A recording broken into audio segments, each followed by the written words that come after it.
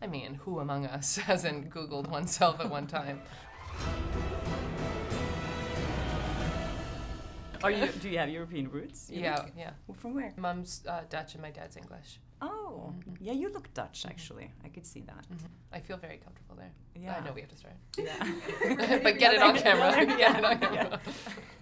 so I was just talking to Brooklyn and Finn, and Brooklyn was talking about how when you were like going a little crazy, how she was a little scared. So how, so how was that for you, trying to like work with like this girl and then being scary, and then is that Well, oh God, I worry about the sort of unintended impacts of being in a horror movie at seven. Um, uh, I mean, for me, I wasn't. I was fine, but um, I had such a lovely relationship with Brooklyn when we weren't in the heightened moments, um, or basically when the camera wasn't rolling. We had a, a, a nice sort of den clubhouse in the house that we would make Valentine's Day cards and have arts and crafts in, and uh, and yeah, she was just a joy to be around. So hopefully the like the nice moments sort of buffered the terrible ones. she knew that he was just acting? So I think know, it- she's really good. it's really good. So I, they've said that this house is a real house. Actually, what was Mhm. that house like? Because that looks kind of now it looks very scary, but was it kind of a little? It was amazing. I mean, I it just sort of as it goes in the movie, you're awed by it when you first arrive. I can't believe that, and it was a private house. It still exists. I mean, they rent out most of it and then just live in a quarter because the heating bills would be insane. But um, it's it's a it's a house that people live in, and this enormous manor on this enormous estate, like old aristocracy. Um, but then the longer you spend in it, it just it chills you. Did you sleep over there? I didn't. Nobody would let me. I wanted to. Oh, you did. Yeah. So do you like kind of supernatural, or do you believe in supernatural things? I do. I haven't had any notable experiences, but I'm very open if any ghosts want to contact me. Put it out there. Yeah, just like if you want to touch me, do. But be, being in a scary movie, when you have to act so scared all the time, do you kind of get a little scared from your own fear? I, I don't know. I don't know, if scared, but you get like hyped up. You're just sort of producing so much adrenaline all the time that I'm not like jumpy, but you're like, what's next? like you're just really sort of on edge. What, when you watched, because you watched the movie, right? Mhm. What was that like watching yourself? I thought it was really scary. I mean, it's um, to be clear, excruciating to watch. There's so much of me in it. It's so hard to watch for so long. But the the scares in the movie really um, they they moved me. They they really freaked me out. Oh gosh. Are you a fan of horror movies yourself? You I love them? horror movies. Yeah, Do you like being scared? I love being scared. Why? I don't. I, I'm, I like the adrenaline. It's so like, do you like rides? Do you like uh, roller coasters? no, I hate roller Oh, coasters. I it's guess just, those two go together. Yeah, kind of. it's just having someone like, I don't know, push you to the edge. I I love it. I love just that it's like an instant high to, and then to be scared. you're okay. And then Yeah. like, And especially with movies, I mean, there's other horror more than any other genre. I think you have this really intense communal experience of like fear and then laughing when you release and being in the theater and being around people and being like terrified together and then discovering that you're like clenching somebody you don't know because you're experiencing this like one moment together. I think that's so special and cool. It feels like magic. And cut. Hey, good And take. Rum was really good. Good job, everyone. Can we talk about your arms in Terminator Please. now?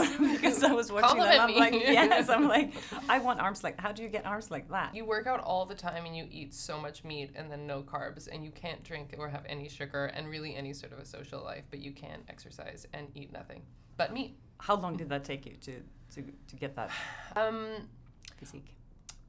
The re- I I do have naturally quite muscular arms, so that was the shortest thing, but the rest of it. It was like three months of very intense training and dieting, and then that continued for six months when we, once we started the movie. So we had like a three month runway, and then six months of still exercising six days a week and eating meat. Is that a good part of, of the job, having to like change your body, or is it like, oh no, you read the script and you're like, oh god. No, I, I was so excited. I've never had anything that asked me to do that before, so I was so excited to do it. It's also like the height of luxury to have somebody like force you to eat well and train you all the time and have people really invested in like transforming your body. I couldn't do it without that sort of a an infrastructure. Um, but it's hard. It's a it's a second job on top of the job that you're doing. It's I slept like four, five hours a night, maybe four hours for like six months because you're just always working out Oh my god. and and then filming. So does that kind of in, interfere with your mood because you're hungry and Yeah. a little like Yeah. yeah. I remember one day we were shooting the scene where I had to run and I'm just so lanky and like I just don't have an efficient body, but I was I'm a soldier so I had to run well and I I had been on a sort of deprivation part of the diet so because I had to do this like nude fight scene in a few days so they start cutting out a lot of the food that you're going to eat um, and I had to like run down this hallway and then I saw playback of it and I'm like like just looks so stupid. And I just cried for an hour afterwards because you don't have any like calories to support um, a normal emotional reaction. You're just really um, sad that sounds really horrible. yeah but it was fun So what was the first thing you did when you finished that shoot? I finished that the very end of the shoot, and I there was a pizza place on my way home in Budapest, and I got three like personal, not personal size, but pies for me to eat um, from this pizza place, and went home with a bottle of wine, and uh, and then ate them. All of them? That's impressive. I have a really big appetite. It was quite difficult for me. So another part of this job is going on the red carpet and dressing up. Is that something that you enjoy? I I love the dressing up part. I hate having my photograph taken and trying to find like a point of meeting between those two things is really difficult.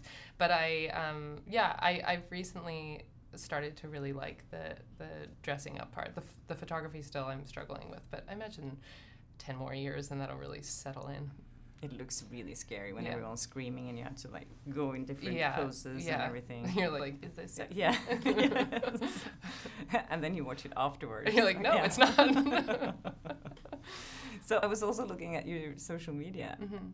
But there's a few accounts with you, and I was like, did you just stop doing Instagram, or are you? I don't have social media, but there is a, a Mackenzie Davis Instagram that people think is mine. Yeah. that is just pictures of my face and I love that people look me up and then think that all I do is post like professional shots of myself. I thought so too. Yeah. And then that that account is following another account with Yeah. you, and I was like, oh, but maybe that's her. So Yeah. you're not at all. No, no, not at all.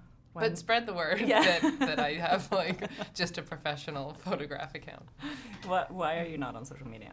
Uh, I don't, I'm too sensitive. I can't like I, I would overthink everything and then be like, why did you do that? I just don't want to. It's just a health thing for me. So you don't Google yourself either. I mean, who among us hasn't Googled oneself at one time? But I try and put a limit on all that stuff. And now I saw that you're going to be in a movie with Kristen Stewart. Mhm. Is that confirmed? Are you shooting? Yeah, we're. Sh- I just came from there today. Oh. Um, yeah, we're shooting in Pittsburgh. cool. Yeah. What's that experience like? It's so nice. Kristen's just so lovely and funny and smart and engaged. And um, Clea DuVall, who's directing it, is a, a lovely friend of mine. And I'm just. It couldn't be a nicer place to be right now with this great group of women and just laughing every day. Can't wait for that Yeah, to come out. I think it's too. gonna be really good. I love it. Great. Thank you so much. You're so lovely. You Thank too. you. Thank you.